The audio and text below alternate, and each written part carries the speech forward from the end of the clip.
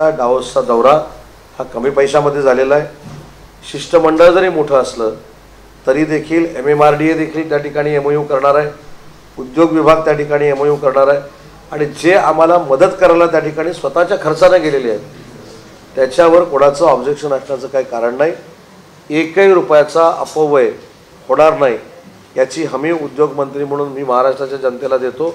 आणि येताना डावोसमध्ये ऐतिहासिक एम यू करून मुख्यमंत्री परततील हा देखील विश्वास उद्योगमंत्री या नात्याने देतो. कारण शेवटी उद्योजकांना देखील वातावरण चांगलं लागतं. खरं तर बावीस तेवीस तारखेपर्यंत वाट बघण्याची आवश्यकता होती. नक्की किती खर्च म्हणजे माझं उदाहरण देतो. मी ज्यावेळी वाघनका आणण्यासाठी गेलो त्यावेळी उदय सामंतचा खर्च एम आय डी सीने केला एम आय डी सीने केला. आणि मग तीन दिवसानं तोंड कशी पडले. मी जातानाच मुद्दाम माझ्या वडिलांच्या खात्यातनं ते पैसे भरलेले होते. कारण आल्यानंतर मला सांगता येईल की माझ्या बापाच्या पैशानं गेले त्याच्यामुळे मी ऑलरेडी ते मी पैसे घेऊन गेलो होतो. त्यामुळे जरा एकवीस तारखेपर्यंत अजून थांबावं.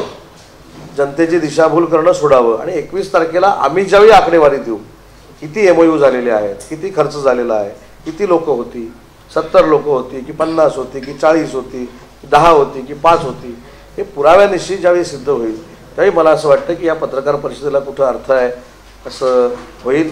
जाताना कोणी अपशकन करू नये. महाराष्ट्राच्या उद्धारासाठी महाराष्ट्राच्या युवा पिढीला रोजगार देण्यासाठी मुख्यमंत्री एकनाथ शिंदेजी देवेंद्रजी आणि अजितदादा जे प्रयत्न करतायत.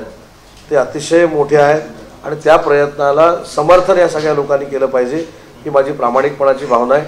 आणि म्हणून आजची पत्रकार परिषद ही एवढ्यासाठीच होती की उद्यापासून डावोसला जे वर्ल्ड इकॉनॉमिक फोरम सुरू होतं आहे याच्यामध्ये महाराष्ट्र उद्योग क्षेत्रातला एक ऐतिहासिक ठसा उमटवेल आगळा वेगळा ठसा उमटवेल आणि जे कोण पत्रकार परिषद घेत आहेत ते शांत होतील असं माझं उद्योगमंत्री म्हणून मत आहे.